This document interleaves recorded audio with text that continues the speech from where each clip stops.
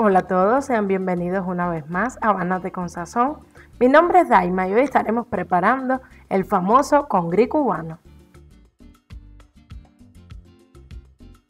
En una olla de presión, en este caso yo estoy utilizando la Express eléctrica, vamos a colocar una taza de frijoles colorados ya lavados y 750 mililitros de agua, que es lo mismo que tres tazas. Con esto vamos a garantizar que el agua quede bien oscurita para nuestro arroz. Luego le añadimos unas hojitas de laurel, en dependencia del tamaño de la hoja, la cantidad, y una cucharadita de postre como esta de orégano. Como no tengo chicharrones, que es lo que usualmente se utiliza, vamos a utilizar este pedazo de carne de cerdo de 130 gramos y vamos a añadirle un poquitico más de agua para que esta se cubra un poquitico mejor y le damos en la opción de frijoles 50 minutos para que estos se ablanden bien. En lo que se ablandan los frijoles y la carne de cerdo que es pierna y la vamos a utilizar en el sofrito, vamos cortando las especias. La cebolla la vamos a cortar en cubitos, así como el pimiento morrón y el ajo bien pequeñito. Yo normalmente utilizo el procesador de alimentos para, bueno, para preparar el sofrito porque me optimiza muchísimo el tiempo.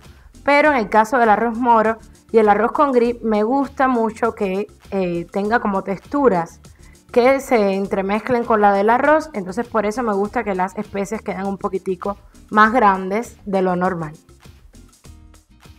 Y en lo que termino, les recuerdo que se suscriban a nuestro canal aquellos que todavía no lo hayan hecho, que subimos videos tres veces a la semana y que siempre estamos generando un montón de contenido de interés para ustedes vinculados a la comida.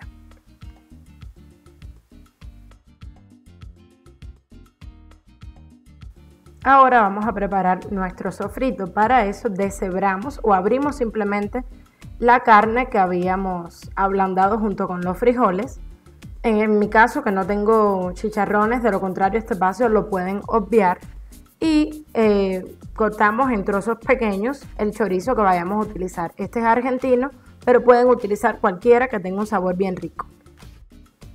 En la olla de presión eléctrica, en la opción de sofritos, vamos a añadir 4 cucharadas de manteca de cerdo y vamos a esperar a que esta se derrita.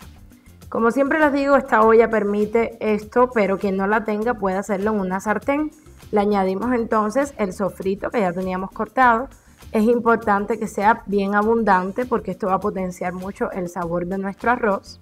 Y removemos todo eso y dejamos que la cebolla se poche y el resto de las especias adquieran un olor delicioso.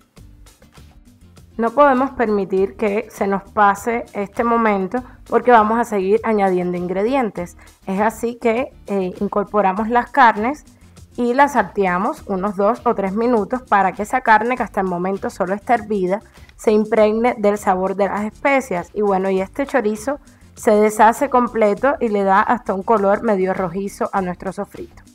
Después de esos minutos incorporamos el arroz que debe estar lavado ya con abundante agua. El arroz debe ser precocido o de grano largo para garantizar que tanto la textura como la visualidad de nuestro arroz en el resultado final sea la ideal.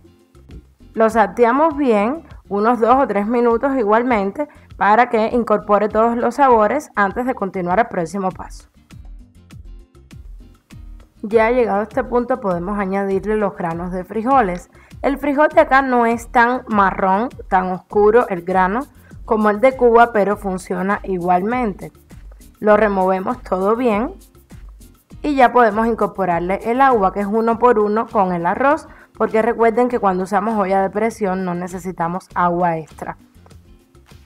En este caso es 2 por 2 porque estoy utilizando dos tazas de arroz.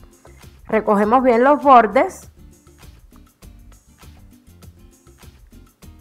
y le añadimos las especias en polvo, sal, eh, con cuidado recuerden que el chorizo ya tiene sal, pimienta negra y comino. Volvemos a remover todo, a integrarlo bien para que el agua tome su nivel.